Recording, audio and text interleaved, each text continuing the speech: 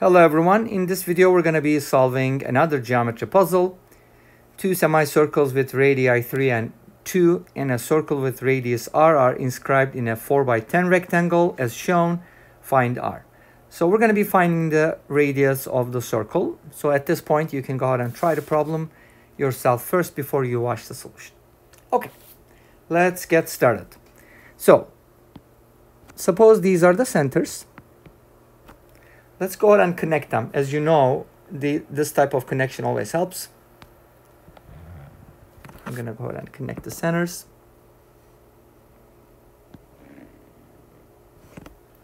Now, we know that this is a 3, that's a 3, that's a 2, that's a 2, and what else do we know? Okay, this is R. We don't know the radius of the circle, we're trying to find it. Now, in this problem, what else do we know? We know that this is a 4 by 10 rectangles so these are the lengths okay? So in order to be able to find r we're gonna need more information right obviously. Because we only have the side lengths of a triangle that is not a right triangle. Okay right triangle is the keyword there you go. So we're to try to make a right triangle here and the way to make that is we're to drop a perpendicular to the base of the rectangle and we're going to make sure that that passes through the center of the circle. Okay, so it's going to look like this.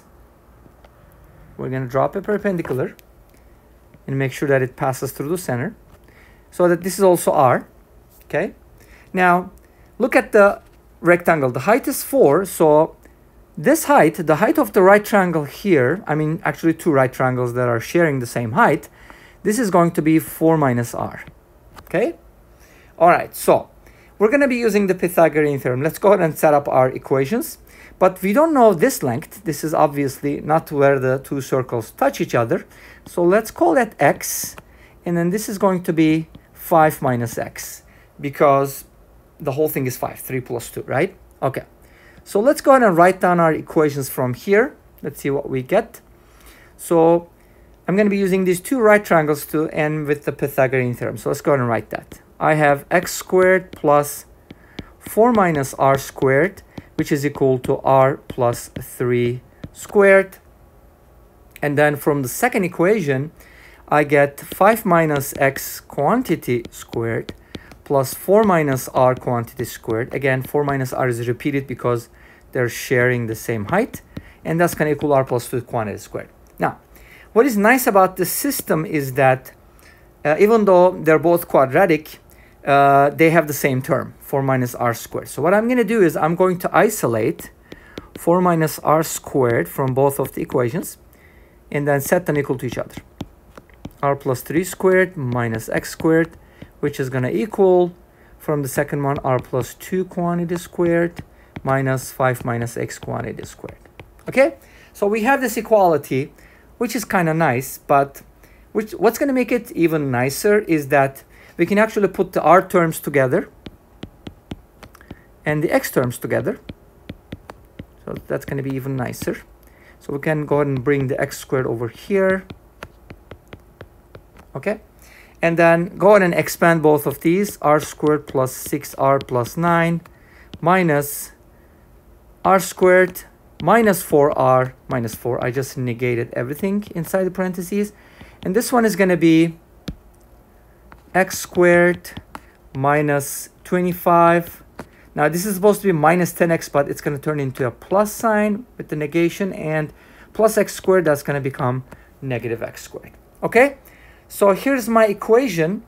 And notice that in this equation, x squared cancels out and r squared cancels out. So we get a nicer expression. We get 2r plus 5 from the left-hand side. And from the right-hand side, we get 10x minus 25 which is kind of nice because I can isolate 2r here, write it as 10x minus 30, and divide both sides by 2, and that's going to give me r equals 5x minus 15, which is good because that's going to allow me to find one in terms of the other. But I'm not interested in x, right? So you might be thinking, well, should we isolate r or x? And I would say x because um, we're trying to solve for r. So you don't want to solve for x first and then plug it in. Well, it won't be a big deal, but if you want to find the answer directly, so it's at this point actually, it's a choice that you're making. And what I'm going to do is I'm just going to go ahead and isolate x in this case. So let me go ahead and change this. Forget about this expression and get rid of that and isolate x. So 10x is going to be 2r plus 30 and divide both sides by 10 and simplify that. It's going to be r plus 15 divided by 5. Okay, there's many ways to write it, but you can just go with one of them. Okay, once you have that, you can just plug it into one of the equations here. The first one seems a little simpler, so let's go ahead and use that one. x squared plus 4 minus r quantity squared is equal to r plus 3 squared. Okay, so what I'm going to do is in this equation, I'm going to replace uh, x with r plus 15 divided by 5 and then just solve this expression. And since uh, I can just go ahead and isolate x squared here, I'm going to go ahead and do that first because that's going to simplify the process. Okay, so let's go ahead and expand these two guys here. That's r squared plus 6r plus 9 minus 16 minus 8r plus r squared. Now when you expand it, r squared is going to cancel out, which is nice. It's going to give you the following. Okay, r squared is going to cancel out, which is good. And x squared is going to equal what? 14r minus 7.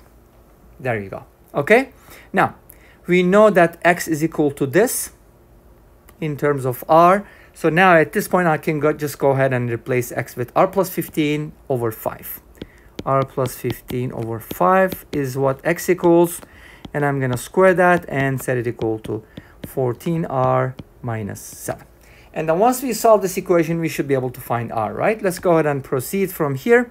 I'm gonna square the top r squared plus 30r plus 225 divided by 25 is equal to 14r minus 7 okay. Now let's go ahead and cross multiply r squared plus 30r plus 225 is equal to 25 times 14 is the same as 50 times 7 which is 350r minus 25 times 7 is 175 so let's go ahead and put everything on the same side and solve for r. Okay? Almost there. You're going to subtract 350 from 30 if you do it the other way around you get 320 so that's going to be a negative 320r 225 plus 175 is going to be 400 awesome. Okay. So hopefully this equation has real solutions. It better have. And then we're going to solve for r. Okay but notice that both of the solutions are positive here right i can tell from Vieta so but only one of them is going to work right we're going to find out Okay, now using the quadratic equation, let's write the two solutions, but let's go ahead and write them separate. The negative b plus the square root of b squared minus 4ac.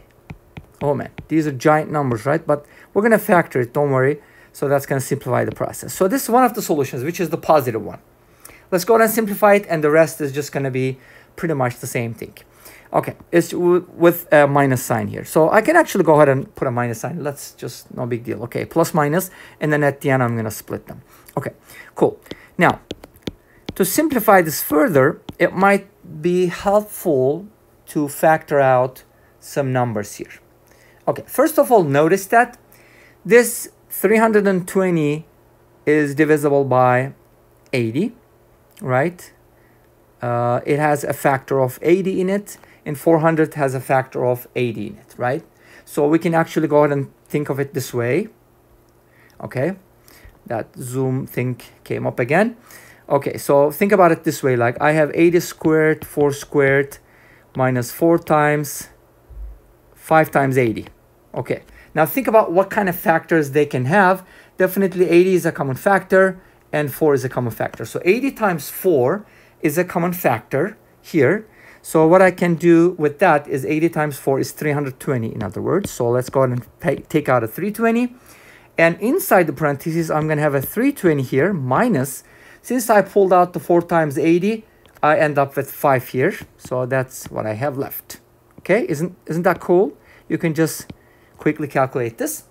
Okay, 320 minus 5 is going to be 315. Let's go ahead and process that even more. Plus minus. Okay, 320, I need to be able to take this out. So I do need perfect squares. It's divisible by 16 definitely. So it's 16 times 20. 20 is 4 times 5. 16 times 4 is 64. In other words, this is 64 times 5. That would be helpful if I wrote it as 64 times 5. And 315, 315 is actually 3 times 105, which is 3 times 3 times 35. 35 is not a perfect square, right? But 3 times 3 is, so we can write this as 9 times 35, which is also cool, uh, minus, um, what am I doing here? Okay, sorry. It's not a minus sign. I'm just gonna go ahead and write it as a product times 9 times 35. Here we go. Okay, that's what it is because I already simplified it. Divided by 2. Okay, now 64 is a perfect square, so that's perfect. You can take it out as an 8. 9 is a perfect square, that becomes a 3. I have the 5 times 35 inside. So 5 times 35 is 5 times 5 times 7 and that's a 25 times 7 so you can also factor out the 25 as a 5 and you're only going to be ending up with 7 inside. Nice okay. We, without further ado we can just write it that way. Now let's go ahead and multiply 8 and 3 and 5 together. 8 times 3 is 24 24 times 5 is 120 so my expression becomes after so much trouble 120 times root 7 divided by 2 Oh man. Now what we can do at this point is we can actually go ahead and divide both sides by 2 and that should give us something nicer. Okay? So basically what I've been trying to do here is just trying to solve that equation for r, right? And we wrote negative b plus minus b squared minus 4ac and then we kept simplifying that expression until we got this. Let me go ahead and check my work here, make sure that everything looks good. 320 minus 5, because this is 1600, that checks out. 320 is 64 times 5, that is correct. And this is 315, and that is 9 times 35. That also checks. Everything looks good, and I pull out the 8, I pull out the 3, and then finally I pull out the 5, and that ends up with 7 inside the radical. Okay? Awesome. I think this looks good. And then from here, we get 120 root 7. Okay, awesome.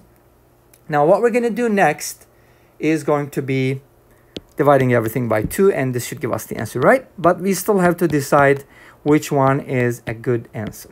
Okay, which one do you think is going to be the answer in this case? Well, if you think about the positive version, uh, it's going to be a very large number. Think about it like it's greater than 160. But we only have like a really tiny rectangle here, right? Which is what, 4 by 10? So r is going to be definitely less than 4, right? You can see that. Okay, so we're going to be going with the minus sign here. So that's going to be our official answer. So the radius of this infamous circle is going to be 160 minus 60 times root 7. Isn't that awesome? So radical. Okay, awesome. Thank you very much for watching. Please comment, like, and subscribe. Let me know what you think about the solution. Any alternatives, write it in the comments. See you in the next video. Until then, take care.